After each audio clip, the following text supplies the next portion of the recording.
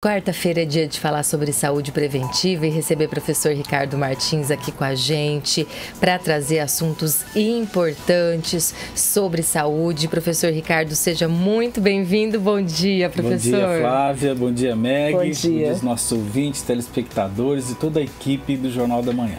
Hoje nós temos um tema muito importante, como sempre, mas muito atual. A gente está falando, todo mundo está falando sobre dengue, porque Votuporanga é, decretou aí estado de epidemia da doença e aí surgem muitas dúvidas. Por isso a gente preparou aqui um giro com mitos e verdades para o professor, né, professor?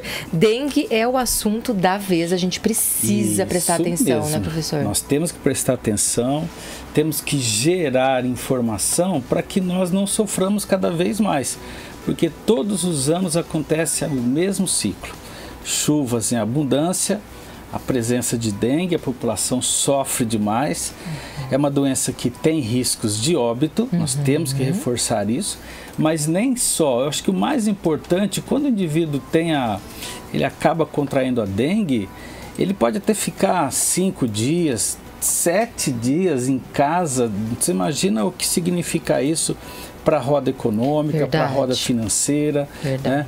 para toda uma dinâmica até mesmo familiar. Então, acho que nós temos que aprender muito sobre a dengue para que a gente não sofra do jeito que nós estamos sofrendo. E Votuporanga acaba sendo realmente um referencial dessas situações né, mais agravantes. Vou aproveitar, abrir aqui o informativo da dengue da prefeitura para atualizar os números. Até agora, casos positivos em Votuporanga, 552, um óbito confirmado, outros quatro estão em investigação. Desses 552 casos, sete foram confirmados da dengue tipo 3, aquela que voltou depois de muitos Sim. anos sem ter casos registrados aqui, e nós ainda temos mais de 1.400 casos sendo investigados, ou seja, esse número de positivos provavelmente vai aumentar ainda mais. Então, a situação é grave, é de alerta. É, a gente já entrevistou o pessoal da Secretaria de Saúde, reforçando a importância sobre a prevenção. E aí surgem as dúvidas, professor. Começando com a primeira, que todo mundo se pergunta isso. Já tive dengue mais de uma vez. Posso contrair de novo e ter a forma hemorrágica? é uma grande chance. Então, isso é uma verdade. Uhum. É, nós temos que entender que são quatro sorotipos. Perfeito. Eu tive o sorotipo 1 e agora estou tendo o sorotipo 3. Uhum. Então, o meu organismo ele pode reagir com um processo inflamatório maior. Claro que as, os sinais e sintomas iniciais são muito parecidos. Uhum. Então, aquela dor no corpo, dor nas articulações, dor de cabeça, aquele febrão né, de 38, 39, dor no fundo dos olhos, isso é o básico. Mas após o terceiro dia, começa-se as dores abdominais, uhum. vômitos, e é o que mais preocupa é o sangramento existem os primeiros sinais de sangramento ou na gengiva ou sangramento nasal. Olha só. E isso é o que gera a observação da questão da dengue grave, uhum. que ela foi chamada de dengue hemorrágica exatamente por causa dessas observações. Mas não necessariamente pode vir uma hemorragia. Ela pode gerar outros sinais e sintomas clínicos e necessidade de internação para reposição de líquidos, para controle desse processo inflamatório, uhum. que é um processo inflamatório sistêmico. É muito rápido, né, professora? E a gente é percebe, ah, peguei dengue, tô mais ou menos, daí no outro dia já piora já, muito. Porque os sinais do processo. Porque, veja bem, até o nosso ouvinte, espectador, precisa entender isso. É, quando eu sou picado, eu tenho um tempo de incubação. Hum. E quando eu tenho essa incubação, eu fico assintomático. Mas quando há a ação, eu tenho rapidamente os sinais e sintomas porque a dengue já está incubada há algum tempo. Entendi. Existem pessoas que passam pela dengue muito bem, até de forma assintomática, mas não é assim na grande maioria. E aquelas pessoas que já tiveram uma resposta da dengue lá no passado, elas acabam tendo uma resposta inflamatória também muito rápida. Só que quem mais sofre, Flávia, é quem é hipertenso, quem é diabético. Uhum. Esse grupo a obesidade, aquele grupo da comorbidade que nós falamos tanto na uhum. Covid-19, eles estão na linha de frente relacionado a esse essa dengue grave ou a hemorrágica. Então, assim, respondendo a tua pergunta, é verdade. Mas quem tem comorbidades, quem está nessa faixa de idade acima dos 60 anos, nós temos realmente muito risco de se tornar essa dengue hemorrágica ou a dengue grave. Professor, o senhor falou sobre esse agravamento dos sintomas. Eu já ouvi muitas pessoas falarem assim: ah, tive dengue, comecei a tratar, estava melhorando, de repente piorei. É porque depois dos três dias vem outros sintomas. Porque aí a sintomatologia ela é mais intensa para essas características do edema. Hum. Não é que nós temos hemorragia. Na verdade, eu tenho um processo inflamatório sistêmico e dentro desse processo eu começo a ter a presença de líquidos extravasados em alguns órgãos, em algumas áreas corporais. Uhum. Eu posso ter, por exemplo, edemas de membros é, superiores, de membros inferiores. Eu preciso, às vezes eu posso estar com o pezinho mais inchado, inchado. e aí eu vou ter aquelas dores abdominais. Aí eu começo a ter o mal-estar geral, porque eu começo a desidratar. Perfeito. É o grande problema da dengue é a desidratação. Então a forma grave eu desidrato muito rápido. E aí eu tenho que ir até um, um local que vá fazer essa reposição hídrica, mas não é a reposição de líquido que eu tomo. Na verdade, precisa ser aquela reposição injetada. Já por o soro. Já por o soro. E aí entra toda uma medicação antitérmica, analgésica o próprio repouso, né? Uhum. E o cuidado para que essa esse edema, esse risco de hemorragia seja controlado dentro do ambiente hospitalar. Então, realmente é bastante grave e nós temos que tomar muito cuidado com essa evolução.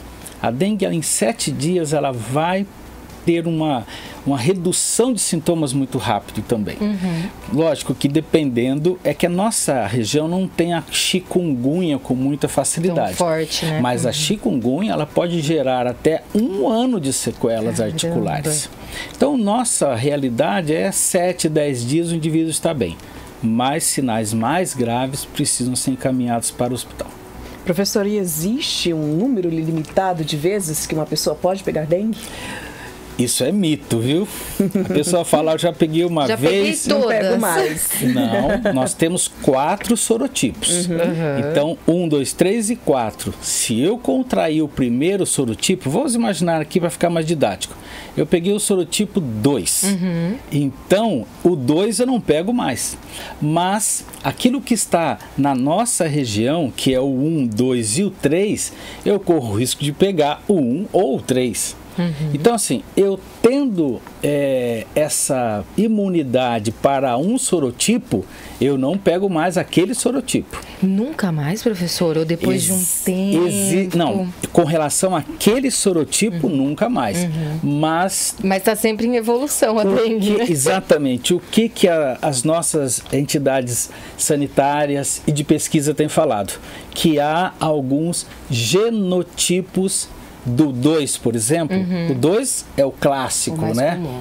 Mas está tendo um, um, um, genótipo já diferenciado Como desse 2. Uma mutação. Uma mutação. Uma e nós estamos muito preocupados com isso, porque essa mutação, nós, quanto mais nós evoluímos com a dengue, mais nós corremos riscos de mutações. Então, mas por hora, o que, que acontece? Sorotipo 2, peguei não vou ter mais esse risco, mas eu corro o risco dos outros sorotipos. Mas no futuro já está se pesquisando a questão do genotipo, ou seja, uma variação desses mais clássicos que nós temos. Aí vai dar muita dor de cabeça. Professor, mito ou verdade? O mosquito transmissor da dengue só pica aqui na região mais embaixo, perna, pé, ele voa mais baixinho. O que, que é? Mito ou verdade? Isso é mito. Existe um fundo de verdade porque é, o mosquito fêmea, ela realmente precisa encontrar é, esse nosso corpo né, vulnerável para ela conseguir fazer a picada.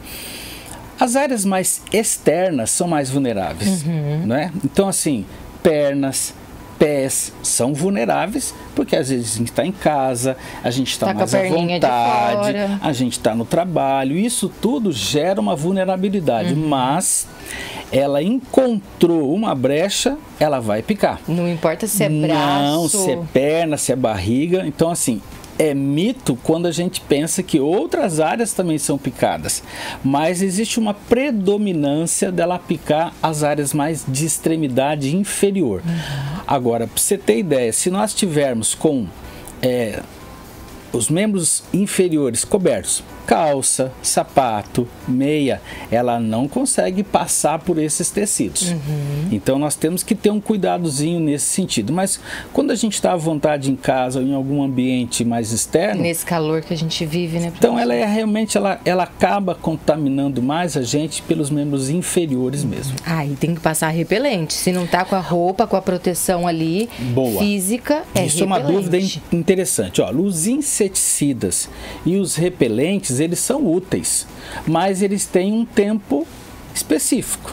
Então a gente tem sempre que reaplicar e tomar o cuidado para que aquele ambiente ele não perca o potencial, por exemplo, da ventilação. Então vamos pensar, eu tenho o repelente, dura duas horas, então eu tenho que reaplicá-lo. De qualquer natureza, viu? Spray, gel, né, o, o pomada, é importante que haja reaplicação. E também o inseticida, mas sempre lembrar que é por tempo é, pou- pouco tempo, né? É paliativo, essa é a palavra, é paliativo. O que nós temos que cuidar é do criadouro desse mosquito, porque é isso que vai fazer com que haja eliminação da produção de novos ovos, novas larvas e, consequentemente, novos mosquitos. Professor, e a dengue? Ela pode ser transmitida de uma pessoa para outra? Não, ela não, ela não pode. Ela é transmitida exatamente pelo mosquito fêmea. O mosquito fêmea, ela pica um indivíduo infectado. Olha que coisa, ela, ela, ela, ela você sabe que, a, que o mosquito da dengue gosta de calor. Ele gosta do- da, da a nossa temperatura. Então, por exemplo, alguém que já está infectado, ele está meio febril. Então ele fica mais aquecido e ela consegue identificar isso. Então ela vai picar essa pessoa, ela suga aquele sangue, aquele sangue infectado faz com que ela agora fique infectada. E por que do sangue? Por que, que o mosquito gosta do sangue? Porque o mosquito fêmea, para a reprodução dos seus ovos, ela precisa fazer isso com sangue. O mosquito macho, ele não se alimenta de sangue. não pica Não, gente, ele, né? ele se alimenta de seivas, de planta. Ele não se alimenta efetivamente do sangue humano. Mas a fêmea não, ela depende do sangue humano e ela então consegue fazer isso pelas picadas. É, Meg, nós temos que sempre observar que a picada, ela, ela para tanto o mosquito da dengue quanto para o pernilongo coça igual. Só que o mosquito da dengue não faz barulho. Então aquele pernilongo Hum, doméstico, zzz, esse é o, é, é- é o Culex. Ele tem nome. Eita, aquele pernilongo. um nome É, ele tem o per- Culex. É. Mas a gente lembra do pernilongo, né? Então esse faz barulho, esse pica, não dá nada pra gente. Mas esse da dengue, ele não faz barulho. Você vê como é que é? Traiçoeiro, né? É não faz barulho, tá sempre quietinho e pica em que hora? De manhãzinha e, no final da tarde, né? E o Culex, qualquer hora. tá passeando. Ele tá passeando, ele vai picar, né?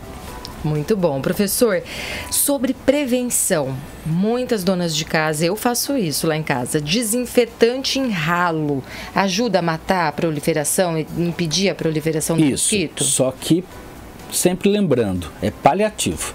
É por um tempo específico pela ação daquela substância. Vamos imaginar, normalmente uma substância dessa vai ser a base de cloro. Então, o cloro ele é muito volátil. Então vamos colocar aí que duas, três horas o cloro está ativo. Ok, então depois que o cloro perde a sua atividade, aquele recipiente Volta. ele ficou totalmente positivo para essa reinfecção. Então, assim, no primeiro momento faz parte, é interessante mesmo, principalmente as donas de casas mais cuidadosas, que elas já estão entendendo que a utilização desses produtos faz parte, mas sempre lembrando, é só paliativo. Nós temos que ficar com esses cuidados de evitar a água empoçada, água parada. Qualquer tipo de recipiente pode ter a proliferação. E vamos lembrar que quando a, a, a mosquita fêmea bota o seu ovinho, ele pode eclodir em 45 dias já está eclodindo. Então aquela água que está ali, ela, poxa, tem um tempinho, se você puder tirar aquilo, limpar adequadamente, não vai ter mais o ovo e não vai ter eclosão. O problema é, são ambientes que são muito longe, por exemplo, calhas de telha. Uhum. Ela prolifera na calha. Uhum. Então muitas pessoas não vão subir lá, não né? Vai outra... subir toda semana, só É, outra coisa, caixa d'água, uhum. bem alta. Aliás, o mosquito da dengue chega na caixa d'água, viu? Voa alta, sim. Opa, e já tem estudos que eles voam até quatro andares. Ai, ai, ai. E nos prédios existe outro mito, né? Que no prédio não pego. Não, ele, va... ele, ele voa ele pega pelo elevador. elevador é, Vai com o povo. Pela, é, exatamente. Às vezes uma, uma, uma, uma mudançazinha que eu faço, né? Ou eu vou no supermercado, aquele tá lá num, num pacotinho uhum. e ele uhum. sobe lá para mim. Agora, nós temos que ficar atentos, é, o contágio de, é, assim, de pessoas mais vulneráveis, né? Elas são realmente mais perigosas, então nós temos que ter esse, esse, esse apego, né? esse apreço a esse elemento pessoas vulneráveis. Né? Inclusive agora está tendo a vacina, uhum. que é a Q-Dengue. Por que, que nós estamos tendo a vacina? Porque ela é interessante, mas ela não colabora 100% com a imunização. Uhum. 70% falando coisa boa. Tá. E ela está tentando agora atingir um público de, de crianças e adolescentes. Eu tenho um pouco de ressalva com relação a isso. Por quê? Porque os mais é, vulneráveis nesse sentido são crianças mais jovens e os idosos. Inclusive, os óbitos são, são de idosos. idosos né? Né? Mas existe aí uma determinação da, da, né, da, do nosso Ministério da Saúde, mas provavelmente quando tiver mais vacinas, nós vamos ter uma vacinação em massa, uhum. isso vai ser muito importante. Professor, mito ou verdade? Vasilhas de água para cães e gatos não tem perigo de virar criadouro para o Aedes aegypti? É mito enorme. Porque ali nós temos uma água potável e o mosquito da dengue gosta de água limpa e não necessariamente potável. Vamos me melhorar aqui. Ela gosta de água limpa. Uhum. Às vezes aquela água limpa ela já não é potável para a gente, mas para ela tá tudo certo. Uhum. E a, a, aquelas cumbuquinhas de cão e gato, meu uhum. Deus, a água é potável. Então ela se torna realmente um criador. O indivíduo às vezes deixa três dias lá aquela água lá a larvinha já começa a borbulhar dentro dela. Então é necessário que além de trocar a água, faça que a limpeza, passar a buchinha, passar em, a buchinha em volta, deixar limpinho e isso feito diariamente já evita que haja uhum. essa. Agora, uma, um mito interessante uhum. é se a dengue ela também se prolifera na água suja. E aí? Água suja, onde tem dejetos, decomposição de material, por exemplo, esgoto. Hum. A dengue não gosta daquilo lá. Já o Culex gosta. Hum. O Culex é um problema de saúde pública também, que é o nosso pernilongo. Ele gosta dessa água, água suja. suja. Ele não gosta da água limpa. Né? Ele gosta da água suja. Só que assim, a água suja que ainda tem, que não tem elementos tão contaminados assim, a, a, a, a, Aedes aegypti gosta dessa água também. Hum. Então existe essa questão. A água suja também prolifera? Prolifera desde que não haja elementos de decomposição. Uhum. Ela já não é mais potável para gente. Para gente, mas para eles é, ainda Por exemplo, vai. aquela água que está na calha não é potável para gente, mas ali tem a proliferação. Né? Perfeito. Né? Professor, tem dúvida de uma ouvinte, a Helena Barbosa. Ela disse se jogar sal no ralo também é bom. Olha, o sal, eles... O, para jogar algo, de, algo dentro do ralo, ele precisa estar à base de cloro. O sal ele não tem essa composição da base de cloro, então ele não vai fazer o efeito que nós esperamos. Qualquer substância que você coloque no ralo precisa estar à base de um, é, de um desinfetante, não é? Ou de um detergente que tenha essa base de cloro. Aí sim isso vai fazer o efeito, mesmo que temporário, mas é o efeito esperado. Professor, velas de citronela são capazes de espantar o mosquito da dengue? São. Tanto é que qualquer repelente faz Uhum. com que esse mosquito seja espantado. Meu bem, lá em casa eu quase ponho fogo na casa. É vela de citronela, aquela serpentina. Tudo que tiver pra Quando acender. surgiu, a, quando surgiu a dengue na década de acendo. 80, a nossa república, nós colocávamos exatamente, porque a gente não sabia de nada sobre a dengue, né? Então eu estava fazendo faculdade de Presidente Prudente. E nós colocávamos essa serpentinazinha Ainda aí. tem no E ainda tem, né? Porque Tem. funciona como repelente. Mas é temporário. É só pra espantar, Vai não vai espantar. matar. Não vai matar. Agora, o ambiente precisa estar fechado. Quando você coloca uma, uma vela ou coloca um- um- alguma coisa que vai concentrar essa substância, o ambiente precisa estar fechado. Porque se o ambiente estiver aberto, o que, que acontece? Nem- nem faz Não cheiro, faz, né? é. Ah, vou colocar uma vela de citronela na área, né? No alpendre. Só vai não- ficar ali na beiradinha. não vai volta. fazer função. Então tem que estar um pouquinho mais fechado, que aí funciona melhor. Boa! Professor, hidratação ajuda a curar a dengue? É o segredo para dengue? É. E hidratar muito bem. Nós temos um tripé: hidratação, repouso e analgésicos. Caso tenha febre, os antitérmicos. Então, isso é uma regra que a medicina tem é, nos orientado com relação a isso, para essa dengue clássica. O problema, sabe o que, que é?